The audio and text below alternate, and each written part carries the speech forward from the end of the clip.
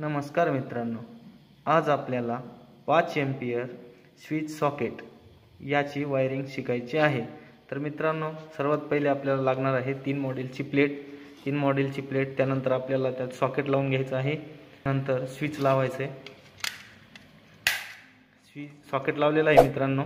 त्यानंतर आपल्याला स्विच लावून घ्यायचं आहे स्विच लावल्यानंतर मित्रांनो आपल्याला लगेच वायरिंग करून घ्यायची आहे.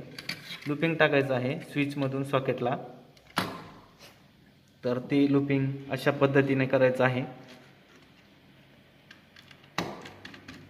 स्विचमध्ये वरच्या बाजूला टाकायचं आहे. लुपिंग आणि त्यानंतर सॉकेटला जोडून घ्यायचं आहे.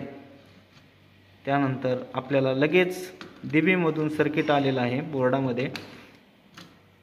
तर आपल्याला ते लगेच जोडून घ्यायचं आहे. तर मित्रांनो हा फेज आहे.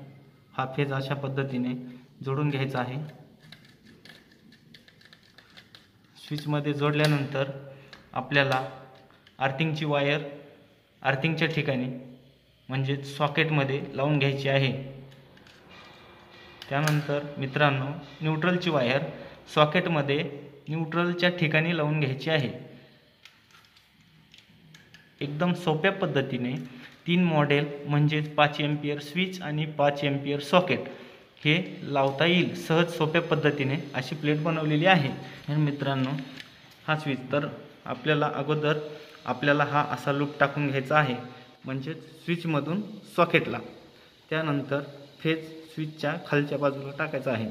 त्यानंतर आर्थिंग सॉकेटमध्ये वरच्या बाजूला जोडून घ्यायचे आहे. त्यानंतर न्यूट्रल हे बघा मित्रांनो या साईडला यल दिसतंय या साईडला एन दिसते तर एनच्या ठिकाणी न्यूट्रल जोडायचे आहे आणि एलच्या ठिकाणी लाईन जोडायची आहे म्हणजेच फेज व्हिडिओ आवडल्यास व्हिडिओला लाईक करा कमेंट करा आणि असेच नवनवीन व्हिडिओ पाहण्यासाठी चॅनेलला सबस्क्राईब करा. धन्यवाद धन्यवाद धन्यवाद धन्यवाद.